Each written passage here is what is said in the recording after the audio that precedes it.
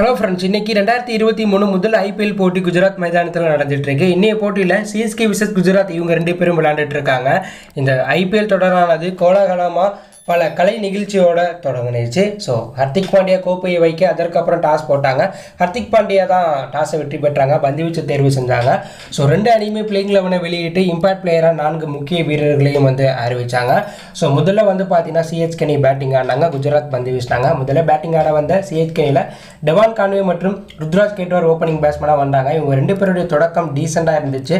அதில் ருத்ராஜ் கெட்வார் இரண்டாவது ஓவரில் சூப்பராக ஹர்திக் பாண்டியாவை வச்சு செஞ்சார். ஆனால் மூன்றாவது ஓவரில் இரண்டாவது பால்ல பதினாலு ரன் இருக்கும்போது முதல் விக்கெட்டாக டெவான் கான்வே அவுட் ஆயிட்டார். டெவான் கான்வே தொடக்கத்திலிருந்தே சொதப்பினார். ஆறு பாலுக்கு ஒரு ரன் அடிச்சிருக்கும் போது சமி போட்ட ஒரு சூப்பரான பாலில் சைட்டில் சிக்ஸ் அடிக்க ட்ரை பண்ண கான்வே க்ளீன் போல்ட் ஆகிட்டு வெளில போயிட்டார்.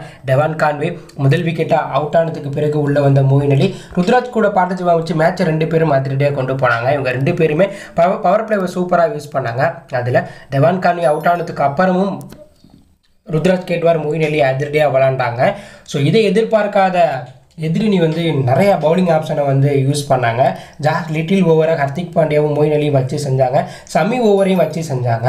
ஆனால் அதற்கப்புறம் வந்து மொயின் அலி விக்கெட்டை ரஷித் கானை உள்ளே கொண்டு வந்து எடுத்தாங்க. ஐந்தாவது ஓவரில் ஐந்தாவது பால் ஐம்பது ரன் இருக்கும்போது ரெண்டாவது விக்கெட்டாக மொயின் அலி அவுட் ஆகிட்டாங்க மொயின் அலி பதினேழு பாலுக்கு இருபத்தி மூணு ரன் அடிச்சிருக்கும் போது ரஷித் கான் போட்ட பாலில் விக்கெட் கீப்பர்கிட்ட கேட்ச் கொடுத்துட்டு வெளில போயிட்டார் மோயின் அலி. மோயின் அலி இந்த மேட்ச்சில் பதினேழு பாலுக்கு இருபத்தி மூணு ரன் அடிச்சாங்க. இதில் நான்கு போன்று ஒரு சிக்ஸ் நூற்றி முப்பத்தி ஐந்து விக்கெட் ஸ்டேக் இருந்துச்சு. மோயின் அலி அவுட் ஆனதுக்கப்புறம் உள்ளே வந்த பென் ஸ்டோக் விக்கெட்டையும் ரஷித் கானே எடுத்துட்டாங்க. ஏழாவது ஓவரில் நான்காவது பாலில் எழுபது ரன் சிஎஸ்கே இருக்கும்போது மூன்றாவது விக்கெட்டாக பென் ஸ்டோக் அவுட் ஆயிட்டாங்க. பென் ஸ்டோக் ஆறு பாலுக்கு ஏழு ரன் அடிச்சிருக்கும் போது ரஷித் கான் போட்ட பாலில் வித்திமான் சாகட்டை கேட்ச் கொடுத்துட்டு வெளில போயிட்டாங்க. அதற்கப்புறம் உள்ளே வந்த அம்பத்தி ராயுடு பொறுமையாக தொடங்க. ருத்ராஜ் கேட்டுவார் யார் அவுட் ஆனாலும் எனக்கு பரவாயில்ல நான் அதிரடியாக அடிப்பேன் அப்படிங்கிற மாதிரி வெறும் சிக்ஸும் பவுண்டரியுமா பறக்க விட்டாங்க. குஜராத் கிரவுண்டு வந்து பெரிய கிரவுண்டு ஆனால் ருத்ராஜ் கேட்டுவார் இந்த மேட்ச்சில் சிக்ஸ் அடிக்கிறத பார்க்கும்போது ஒருவேளை கிரவுண்டு சின்னதாகிடுச்சோ அப்படிங்கிற மாதிரி ஒரு ஃபீல் வந்துச்சு.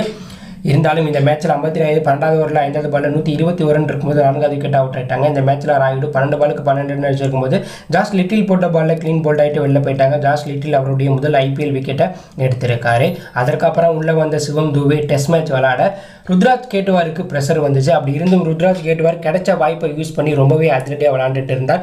செஞ்சுரியை நோக்கி போயிட்டு இருந்தார் ருத்ராஜ் கேட்டுவார். ஆனால் துரதிசவசமாக தொண்ணூற்றி ரெண்டு ரனில் அதிரடியாக விளாண்ட ருத்ராஜ் எட்டு ரன்களில் செஞ்சுரி அடிக்காமல் அவுட் ஆகிட்டார் அதாவது அல்ஜாரி ஜோசப் போட்டிருப்பார். அது முதல்ல நோ பால் மாதிரி தான் இருந்துச்சு.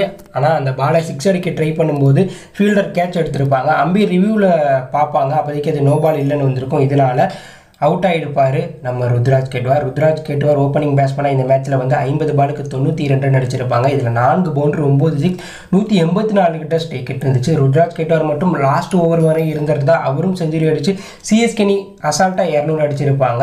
ஸோ அவர் விக்கெட்டை அல்சாரி ஜோசப் வந்து வீசி சுபங்கில் சூப்பராக கேட்ச் எடுத்திருப்பாங்க. அது நோபால் மாதிரி இருந்திருக்கும். ஆனால் அவுட் ஆகிட்டு வெளில போயிருப்பார். அதுக்கப்புறம் உள்ளே வந்த ஜடேஜா ஒரு ரன்லையும் டெஸ்ட் மேட்ச் விளாண்ட தூபே பதினெட்டு பாலுக்கு பத்தொம்பது ரன்லையும் அவுட் ஆக எம்எஸ் டோனி லாஸ்ட் ஓவரில் சிக்ஸ் பவுண்டரி சிங்கிள் அடித்து சூப்பராக ஃபினிஷ் பண்ணியிருப்பார். எம்எஸ் டோனி ஏழு பாலுக்கு பதினாலு ரன் அடிச்சு நாட் அவுட் பேட்ஸ்மேனாக கிரீஸில் இருப்பாங்க ஷார்ட்னர் மூன்று பாலுக்கு ஒரு ரன் அடிச்சு நாட் அவுட் பேட்ஸ்மேனாக கிரீஸில் இருக்க. சென்னை அணி இருபது ஓவர் முடிவில் ஏழு விக்கெட்டில் பிறகு நூற்றி எழுபத்தி எட்டு ரன் அடிச்சிருப்பாங்க. எதிரணி பந்து வச்சு தரப்பில் முகமது சமி ரஷித் கான் அல்ஜாரி ஜோசப் இரண்டு விக்கெட்டும் ஜாஸ் லிட்டில் ஒரு விக்கெட்டும் எடுத்திருக்காங்க. ஸோ தற்போது குஜராத் அணி வெற்றி பெற நூற்றி எழுபத்தி எட்டு ரன் இருபது ஓவருக்கு தேவைப்படுது. அதுக்குள்ளே சிஎஸ்கே குஜராத் அணி சுருட்டினா இந்த மேட்ச்சில் வெற்றி பெற வாய்ப்பு இருக்குது ஸோ இந்த மேட்ச்சில் ருத்ராஜ் கேட்டுவாலோடைய பேட்டிங்கை பற்றி என்ன நினைக்கிறீங்க? சிஎஸ்கே இந்த மேட்ச்சில் வெற்றி பெறுமா? இல்லை குஜராத் வெற்றி பெறுமா? அப்படிங்கிற கருத்தை கமெண்ட்ல லீவ் பண்ணுங்கள் தேங்க்யூ ஃபார் வாட்சிங்